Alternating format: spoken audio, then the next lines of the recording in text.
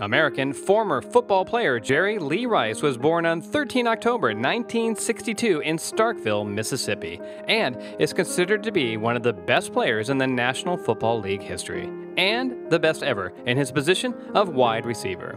Jerry is known for playing in such teams as the San Francisco 49ers, Oakland Raiders, and Seattle Seahawks during his career, which began in 1985 and spanned 20 years at the top level. Rice won many awards. For example, NFC Offensive Player of the Year, UPI NFC Rookie of the Year, NFL 1990s All Decade Team, and Greatest Player of All Time. What is more, he has been inducted into the, both the College Football Hall of Fame and Pro Football Hall of Fame. So, how rich is Jerry Rice? Celebrity.money estimates that Jerry's net worth is over $60 million, with, of course, the main source being his career as an American football player. Jerry Rice studied at Mississippi Valley State University, where he showed his skills in playing football. So acclaimed in college that the university even renamed their stadium from Magnolia Stadium to Rice Totten Stadium. Jerry set numerous NCAA records, including 1,845 receiving yards from 112 receptions in a season, being named a first-team Division I AA All-American, 24 passes in a single game, plus his 27 touchdown receptions in that 1984 season. After graduating from college, after some trades, Jerry was selected first by the San Francisco 49ers in the 1985 NFL Draft, which had a huge impact on Jerry's net worth. His first season gave an idea of what was to come, with a 10 catch, 241 yard game and 49 catches for 927 yards, averaging 18.9 yards per catch for the season. So, unsurprisingly, he was voted NFC Rookie of the Year.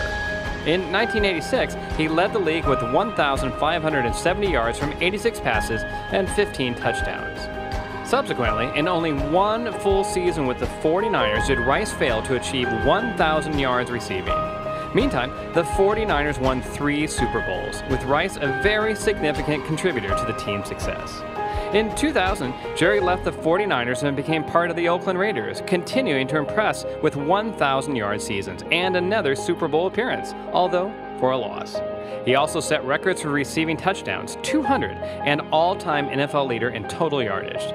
Despite the fact that Jerry was one of the best players, he was not satisfied with the team's overall performance and requested a transfer. So in 2004, he joined the Seattle Seahawks.